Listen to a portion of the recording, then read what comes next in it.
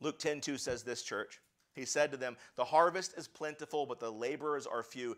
Therefore, pray earnestly to the Lord of the harvest to send out laborers into his harvest. Friends, it says the harvest is plentiful. The, har- the harvest is plentiful. There's lots of people that need to hear the gospel. What are we going to do about it? I'll tell you what we should do. And it seems counterintuitive. Here's what our flesh says it says, listen, there's apples on the tree and they need to be picked. And so, what we need to do is we need to go, go, go. We got to go out there. We got to get it done. We got to pull up our bootstraps and we got to go. But the wisdom of the Bible is not go, go, go. It's dwell, dwell, dwell. You can go, church, all day long in your own strength and you'll probably pick some fruit and you may see some harvest, but it will not last. You'll wear out because you cannot do spiritual work with fleshly strength.